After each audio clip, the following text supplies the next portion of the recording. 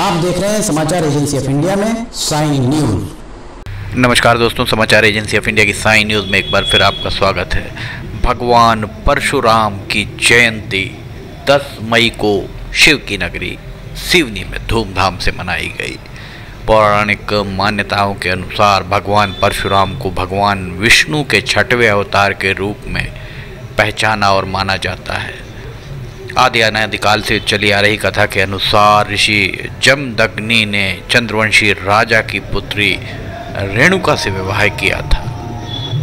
ऋषि जमदग्नि और माता रेणुका के पुत्र के द्वारा पुत्र की प्राप्ति के लिए एक महान यज्ञ किया। इस यज्ञ से प्रसन्न होकर भगवान इंद्रदेव ने उन्हें तेजस्वी पुत्र का वरदान दिया और अक्षय तृतीया के दिन भगवान परशुराम अवतरित हुए। ऋषि जमदग्नि के ने अपने पुत्र का नाम राम रखा। राम ने शस्त्र का ज्ञान भगवान शिव से प्राप्त किया और भगवान शिव ने प्रसन्न होकर अपना फरसा यानी परशु उन्हें प्रदान किया। इसके बाद वे परशुराम कहलाए। इनका स्वभाव बहुत क्रोध भरा था। कहते हैं इन्होंने 21 बार इस धरती को क्षत्रियों से विहीन किया था। यही नहीं, इनके क्रोध से भगवान बुद्धि विनायक भगवान गणेश भी नहीं बच पाए थे। भगवान परशुराम को चिरंजीवी कहा जाता है और ये मान्यता है कि वे आज भी जीवित हैं। उनका वर्णन रामायण और महाभारत दोनों काल में होता है। भगवान श्री कृष्ण को आपके द्वारा सुदर्शन चक्र उपलब्ध कराया था और महाभारत काल में भीष्म, द्रोणाचार्य और कर्ण को अष्ट शस्त्र का ज्ञान भी भगवान परशुराम के द्वारा दिया गया था। समाचार एजेंसी ऑफ़ इंडिया की साइन न्यूज़ के लिए अखिलेश दुबे की रिपोर्ट। भगवान परशुराम, त्रेता, युग, रामायण काल में एक ब्राह्मण ऋषि के यहाँ जन्मे थे, जो भगवान विष्णु के छठवें अवतार माने जाते हैं। पौराणिक वृतांतों के अनुसार, जो कथा भी हमने आपको बताई, उसके हिसाब से महर्षि भृगु के पुत्र महर्षि जमदग्नि द्वारा संपन्न पुत्रेष्टि यज्ञ से प्रसन्न देवराज इंद्र के वरदान स्वरूप, आपकी पत्नी रेणुका, माता रेणुका के गर्भ से वैशाख शुक्ल तृतीया को मध्य प्रदेश के इंदौर ज़िले में ग्राम मानापुर के जानापाव पर्वत पर भगवान परशुराम का जन्म हुआ था। वे भगवान विष्णु के आवेशावतार माने जाते हैं। समाचार एजेंसी ऑफ़ इंडिया की साई न्यूज़ के लिए अखिलेश दुबे की रिपोर्ट। भगवान परशुराम ब्राह्मण कुल के इष्ट माने जाते हैं। वैसे भगवान परशुराम को सभी धर्म संप्रदाय वर्ग के लोग बहुत आदर सम्मान से आपका पूजन अर्चन करते हैं। शिव की नगरी में भगवान परशुराम की शोभा यात्रा उनके परशुराम जयंती पर शोभा यात्रा पूरे उल्लास, परंपरागत उल्लास के साथ निकाली गई। समाचार एजेंसी ऑफ़ इंडिया की साई न्यूज़ के लिए अखिलेश दुबे की रिपोर्ट। भगवान परशुराम की इस शोभा यात्रा में बच्चे, वृद्ध, बुज़ुर्ग, उम्रदराज, युवा पुरुष, नारी, बच्चियाँ सभी ने समान भाव से हिस्सा लिया। देख सकते हैं आप यहाँ दोपहिया वाहनों में सवार होकर भगवान परशुराम के नारे लगाते हुए ये सभी यहाँ से गुजर रहे हैं और आसमान पूरा गुंजायमान दिख रहा है। शिव की नगरी धर्ममय, पूरी तरह धर्ममय प्रतीत हुई।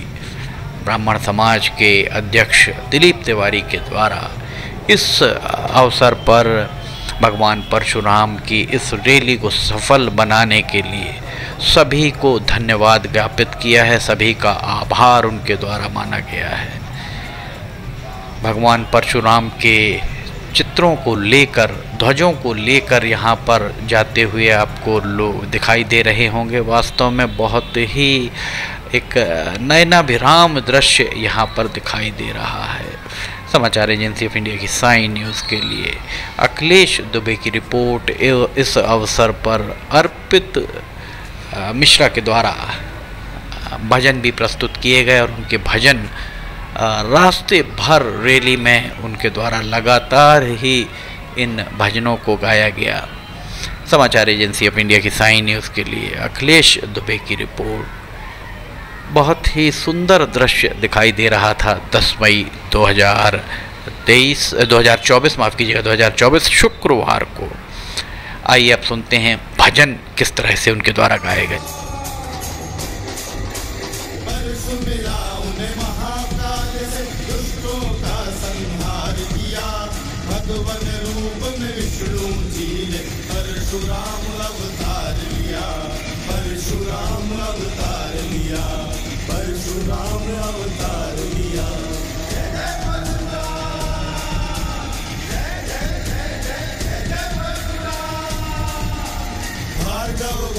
के आज्ञाकारी संतानों में श्रेष्ठ है ब्राह्मणों के हैं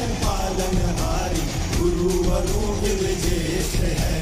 माता पिता के आज्ञाकारी सृष्टि में सम्मान मिला, भगवन रूपी परशुराम को अमरता का वरदान मिला अमरता का वरदान मिला।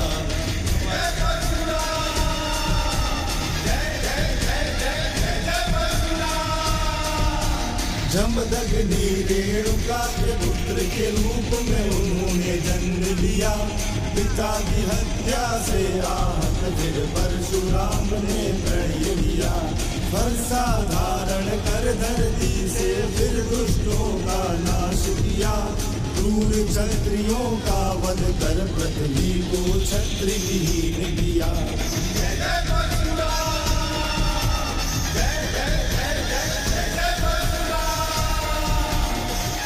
धनुष शिव का क्रोध परशुराम ने प्रकट किया। परशुराम को शांत करने को राम ने विष्णु का रूप धरा। विष्णु के अवतार है दोनों, राम से परशुराम मिले। खुद को राम में देख के परशुराम आनंद विभोर हुए।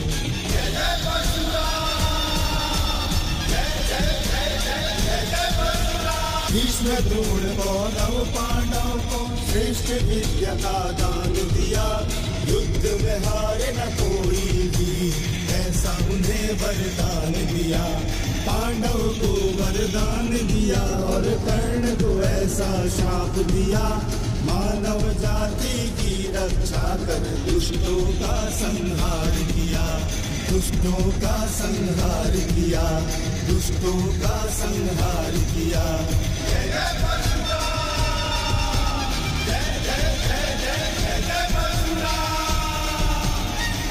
वंश में पाँच पुत्र को जीवन का वरदान दिया।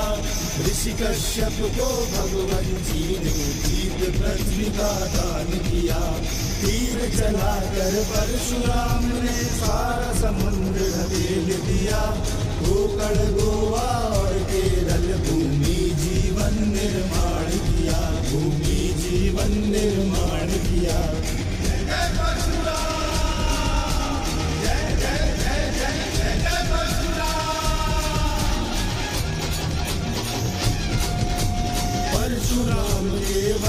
वंशजों की जग में ऊँची शान है।